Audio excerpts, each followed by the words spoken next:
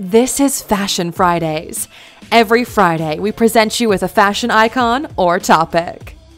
Today, we're looking at 15 things you didn't know about Philipp Plein.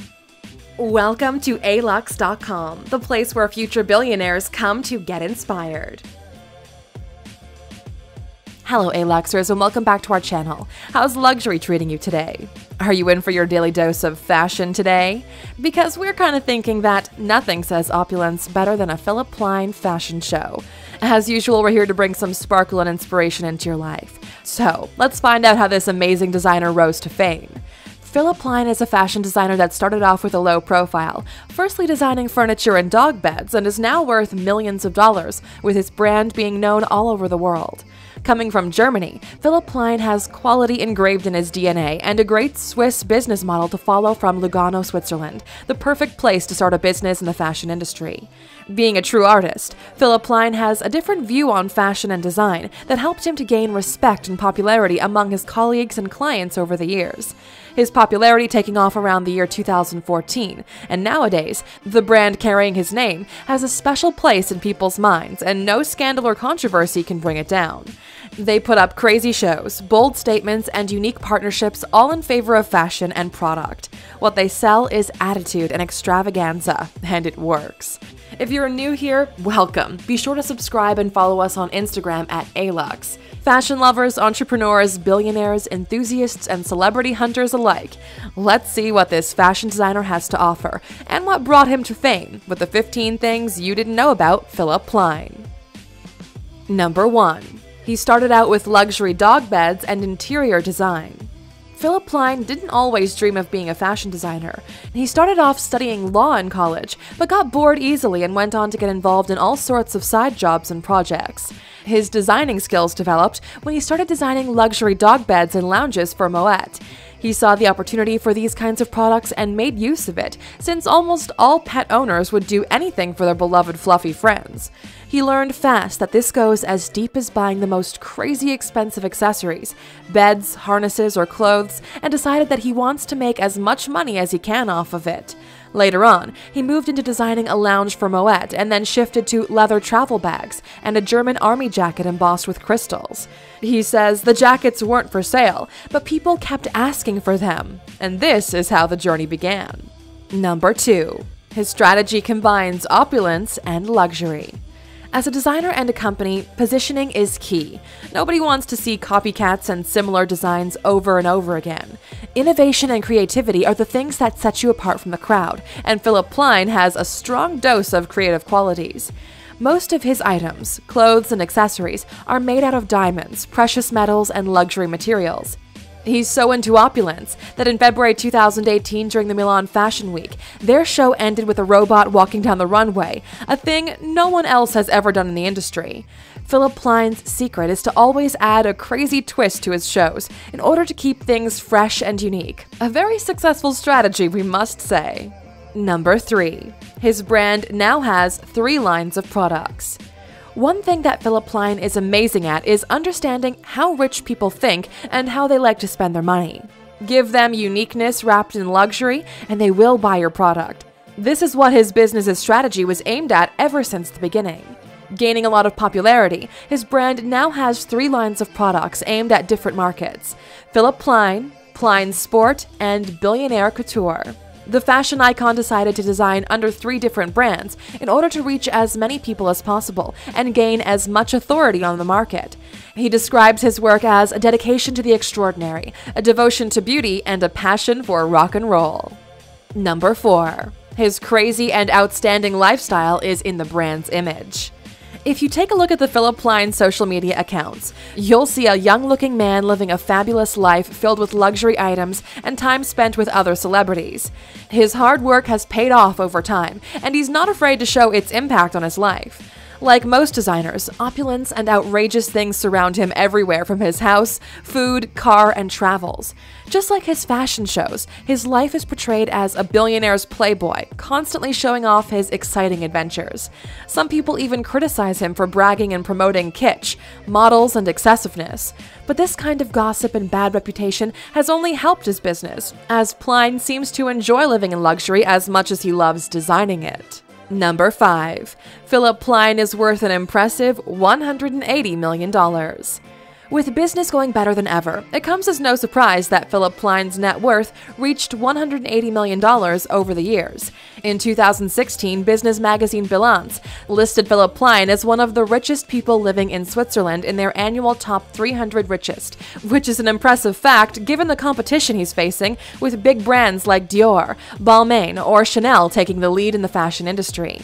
But with his brand expanding faster than any other in the fashion industry, Philipp estimates that his business turns over $360 million a year. Just goes to show once again, the high end products industry has more room at the top for people who want to join in, as long as they bring something fresh to the table. Number 6. He's currently fighting with his ex over the custody of their son. Back in 2013, the designer had a turbulent relationship with the Brazilian model Fernanda Rigon, with whom he had a son, Romeo Prince. The two ended their relationship harshly, and to this day, they keep shaming each other on social media, and the interviews over the custody of the boy and other parenting issues. It seems like the designer's extravagant life and cheating allegations got in their way. Being such a huge name with all celebrities, it's no wonder he's been photographed by the media with all sorts of women, especially since Philipp Plein never backs off on showing how much of an amazing life he's living.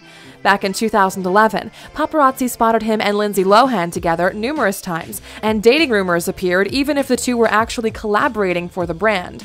Might we suggest Philipp dating some non famous women for a change? Number 7. He called out the Lugano authorities for being treated like a criminal. Lugano is well known as the Silicon Valley of fashion, and they try to attract all sorts of big brands and companies there. Philipp Plein is one of them, and has created jobs for the people living there and brought new investors to the area. Recently, the famous designer denounced the Lugano mayor publicly on his Instagram account after he and his team were treated as criminals during a small police routine. He expected a different treatment from authorities, and when that failed, he went viral on social media, pointing fingers and looking for justice. The mayor denied the allegations, but the scandal is still going strong in Ticino between these two. Number 8. He is at war with other big brands. Inspiration can be a pain in the back if it all fails to come when you need it the most. In the fashion industry, trends go publicly twice a year, and designers must adapt every season and come out with new ideas and designs. Sometimes they bring back older trends or collections, and some of them even go further to an extent of copying other designers. Since outgrowing your competition is the key, Philipp Plein went straight to war with the big dogs in the hopes of getting a bigger piece of the pie. His sports line recently started a new campaign with fighting legend Floyd Mayweather under the name Be a Tiger, Not a Puma. The press quickly picked up the subtle reference to the sports company and started asking questions about it, but Philipp Plein didn't give any further information. Nicely played, we must say. Number 9. In China, people can't spell the brand's name properly. Philipp Plein extended his business worldwide in less than 20 years. With stores in major cities like New York, Milan, or Moscow, he manages to be where the movement is and take full advantage of the market. This strategy clearly works for him very well. However, being from Germany, his name is quite difficult to pronounce at first, and it's even harder in some countries from Asia, like China, where a lot of American and European names are impossible to pronounce. Chinese people often call Philipp Plein simply PP, since PH and the letter P in both words is hard for them to say. But this doesn't stop them from buying the expensive clothes he designs, so no harm done. Number 10. He conquered Cannes with his Jungle du Roi mansion. Have we mentioned the crazy opulent life this designer is living? Nothing is too much for him, and it comes as no surprise that even his houses are extravagant. He owns a pied a terre in New York, another one in Lugano, Switzerland, a $100 million under construction mansion in Beverly Hills, and this Jungle du Roi, King's Jungle, 11 bedroom villa he built in Cannes, France. In 2017, the designer held an international resort show at his villa and set up an amazing performance for his 250 guests, including press and some of his most valued customers from around the world. All of the sources and photos taken at the event pointed at the designer's jaw dropping estate and once again his extravagant ideas. Nicely done, Philipp. Want to go behind the scenes on another amazing innovative fashion designer? Make sure to watch our video 15 Things You Didn't Know About Marc Jacobs to let us know which one of the two you like best. Number 11. He claims to have no debt or loans. And we'll quote him on this. Not even $1 or loan. Millionaire Philipp Plein has a very high profile life, and he's not afraid to show it. Some even say that there's no way he makes that much money from only selling clothes and suspect him of shady business or tax evasion. He does spend and invest a lot of money in his brand and tries to constantly innovate, but claims to have a clean profile in spite of all the rumors. Since his business headquarters is based in Lugano, Switzerland, he might be clean or he just might be smarter than us. We can't say which one. But one thing is for sure all the craziness they put up during fashion shows costs a lot of money, and probably brings in even more. Number 12. Philipp Plein's brand sponsored the Lugano's hockey team. Having the headquarters based in Lugano, Switzerland, along with other big brands, the company decided to support the local hockey team last year. This is quite a popular move for a lot of companies, since it offers them exposure and credit. The partnerships go under the name of Fashion Partner and agreed to redesign their full attire. The 12 year contract is settled with the Plein Sport line and even extends to formal suits for the team and staff. Philipp Plein is thrilled over the partnership with the company, even creating a special lounge at the stadium and redesigning the team's logo. Who knows? Maybe he'll buy the club in the end and enter the sports world to spin some more money. Number 13. He has a side business in the steel industry. Most people that know Philipp Plein point him toward fashion and media, which is 90% correct. His whole brand and designs belong to the fashion industry, but what very few people know is that he has a side business in the steel industry. Looking at his designs and inspiration for the fashion shows, it's no wonder he went for the cold metal industry, where a lot of moguls have made millions of dollars. His vision is very graphic, and his designs use a lot of dark colors, textures, and metals. The way this goes, he might fully enter a new business very soon and give it a good shake. Don't say we didn't warn you. Number 14. He collaborated with multiple celebrities for his shows and collections. Sitting front row at a Fashion Week presentation is a huge thing for anyone. Those seats are reserved for magazine editors, celebrities, and influencers. So, where you sit at a fashion show dictates your level of importance and status in the fashion industry. On the flip side, who you have in your front row dictates how important of a designer you really are, just like in high school. At Philipp Plein's fashion shows, you'll only see top celebrities attending and top models walking down the runway. They come to get inspired and see a great show every time. For social media reach and magazines, his shows are golden. They get to see celebrities like Snoop Dogg, Naomi Campbell, Madonna, or Rita Ora. New trends and opulence all in the same place.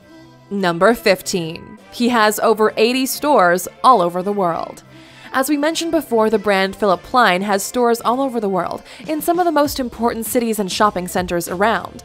Selling only luxury items, he went straight for the big cities where rich people shop, like Monaco, Beverly Hills, Dubai, or Hong Kong. If you feel like throwing money on some extravagant clothes but have no Philipp Plein store around you, don't worry, he has an online store as well. His strategy and advertising campaigns march strongly on the keywords luxury, premium, and ultimate. This insight has helped him to get to where he is now. One interesting fact to be noted here is that some of his stores are actually privately owned, an extravagant thing only Philipp Plein would be up to.